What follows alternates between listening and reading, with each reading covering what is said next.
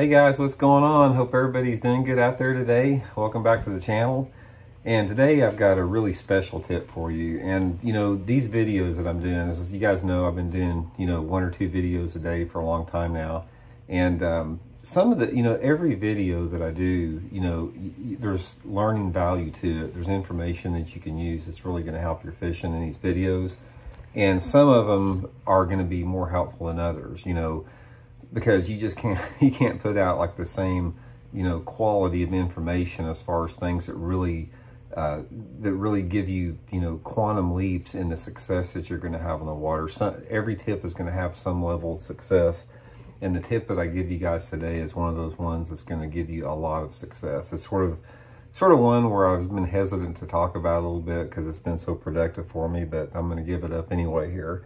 And this tip that I've given you guys is sort of a tribute to Doug Hannon because Doug Hannon is the one, Doug Hannon is the one who showed me how to do this. And if you guys don't know who Doug Hannon is, uh, you're definitely not old school because Doug Hannon, in my opinion, is one of the most influential figures in bass fishing, period. He, he, his claim to fame was back in the 70s and 80s. He was known as the bass professor. And um, Doug was like, he, he lived in Florida and he was the one that, you know, I've talked about him a little bit before. He was the one that has caught over 300 documented 10 pound bass in Florida, which is unbelievable. I mean, I've probably fished 500 days in Florida or more in my career and I caught one 10 pound bass, you know, in that time frame. And Doug has caught over 300 that he has documented, uh, you know, catches with that. And the bait that I'm going to show you guys today, the swimming worm, Doug told me that over a 100 of those 10 pound plus bass came on the swimming worm.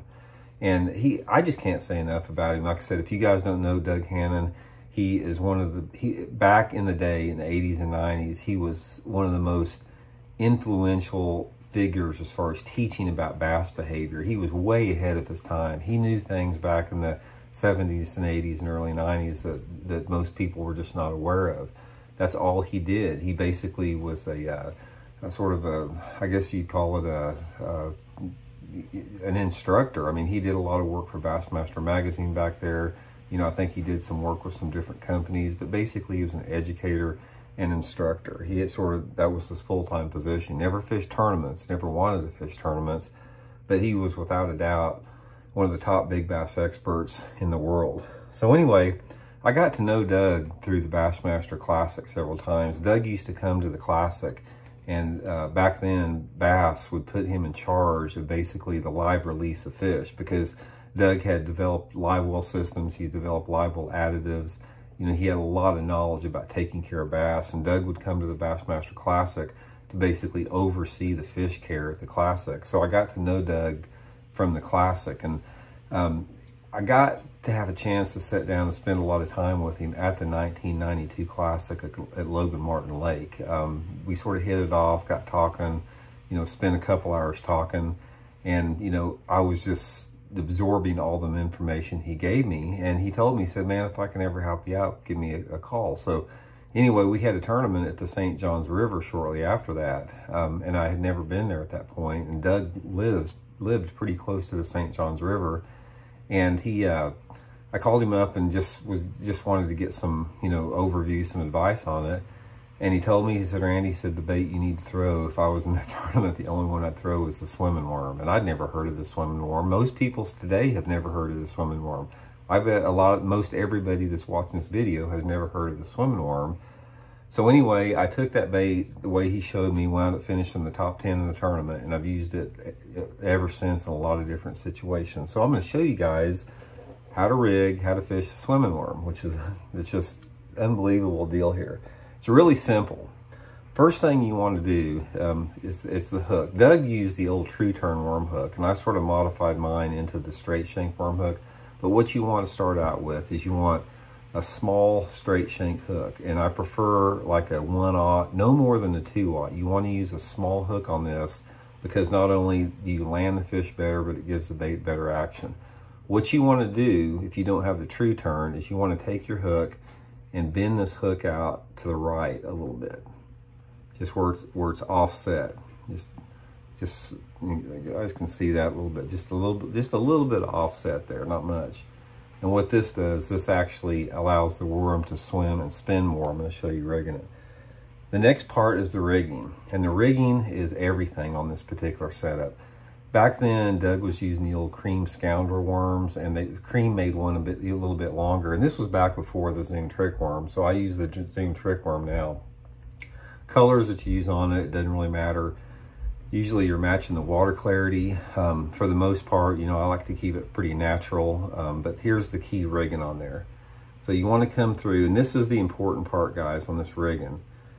This rigging's got to be straight coming through here, and this this takes a lot of patience because you're rigging this thing way down in the worm. So you got to spend your time really uh, making sure this thing is centered in, in the middle of the worm. And Doug told me, you know, we had a long talk about this and, you know, he, he was talking to me about bass behavior and the things that basically trigger, you know, fish to bite. And this is basically the thing that he came up on his own over years of fishing in Florida for big bass. So you can see how far I'm still going down there. I'm still going down.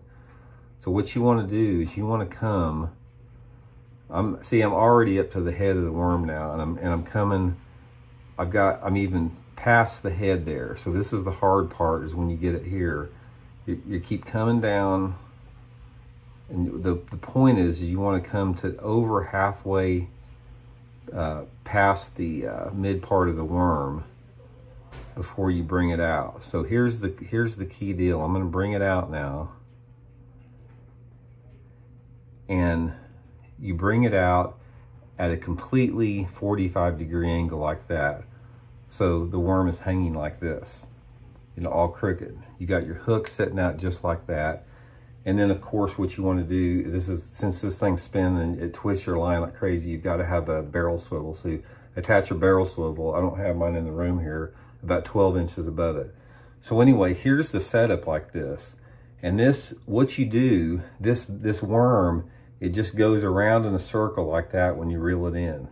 It just, it just, it just corks, corkscrews, corkscrews like that. I can't really show you that well, but it's basically just corkscrewing through the water, swimming like that in a straight, in a straight line. And what you want to do is you throw it out there and just hold your rod tip uh, high and just reel it straight in. The weight of the uh, barrel swivel, will keep the bait, you know, just under the surface. You want to fish this thing most of the time within sight or just barely out of sight. And this thing is just going around crazy in a circle. I mean, a lot of times you guys have seen it if you had a crooked rig plastic worm, it just goes nuts in a circle. That's the point of this thing, is to get it where it just spins completely in a circle, just like that. Doug calls it the swimming worm. And there's something about this setup, there's something about the subtleness of the straight-tailed worm and the action that it comes through the water, that those big ones will just absolutely hammer it. I mean, I've never seen anything like it. So most of the time, um, I'm fishing this thing like on 12 to 15 pound test, fluorocarbon carbon line. Um, I prefer to, cat to fish it on a bait caster simply because of the size of the fish that this thing generates, unless I need to make a super long cast. The best success that I've had around the swimming worm has been when it's around some type of, of object. I've had good success in Florida around shallow grass with it. I've had good success around some docks and some stumps, laydowns, that type of stuff. But if I'm making shorter casts with it, I'll use the bait caster. And if I'm using, uh, having to make longer casts, then I'll upgrade with a spinning rod with 10 to 12 pound test line. But, and another thing is the barrel swivel on the thing. It just depends on your how far you want the bait to you know, how, you know, for the casting distance, the heavier barrel swivel will help you out and how far you want to get the bait under the water column. But just keep your rod tip high and just start reeling, reeling like that, having that worm swim around. And I wish I had some on the water video with this. At some point I may make that, but this is sort of just a video I'm doing here in the tackle room. But give it a try. This is something, like I said, most people have never seen it. They've never heard it. Um, under the right situation and this is the time of year I like to fish it anytime you know late spring is when this thing really works good anytime that they're in that same water column to hit like a swim jig or floating worm or a fluke shallow like that it's a really good way to catch them most of the time it's going to be a lot more effective in a little bit cleaner water. So I like, my ideal water clarity for it is sort of that three to four foot zone. And again, there's something about it that works really good around aquatic vegetation, whether you're fishing in Florida, you know, Texas lakes, some of the TVA lakes, it works really good around that. But I have caught them just on bare banks. So there it is, uh, sort of a salute to Doug Hannon, the swimming worm bait that has produced over 110 pound bass for Doug Hannon in the state of Florida. Um, and I don't know why more people haven't, I, I do not know why this bait has not caught on. This is one of those baits that is deadly and you just don't hear anything about it. It's like nobody fishes the thing. I just, I don't really understand why. Maybe because Doug never really talked about it much. Maybe there may be pros out there using it that aren't talking about it. For me, it's been very situational. It's like, the bass are either on it or they're not on it. But when they're on it and they're in that personality, in that mood to bite a bait in this type of a, of a style, it's just completely deadly. So again, guys, give it a try. Just use your favorite straight tail worm. You know, rig it like I told you guys with it. I'll try to do some more videos at a later date and get some on the water footage with it to sort of show you guys how it works in the water, show how I cast it and that type of stuff. So I wanted to share that with you guys and just, uh, I got thinking about Doug Hannon. Actually, I was on YouTube a couple days ago and I saw an old video on Doug and it made me think about that and what made me want to do this video on it. So anyway, I was really fortunate to get a chance to be able to spend some time, uh, you know, with Doug and getting to probe his mind and ask questions about it. And if you guys have never heard of Doug Hannon, just Google Doug Hannon and you'll see what I'm talking about. So anyway, hope you guys liked the video. Much appreciated. Please subscribe if you haven't. Hit that like button. We'll talk to you later.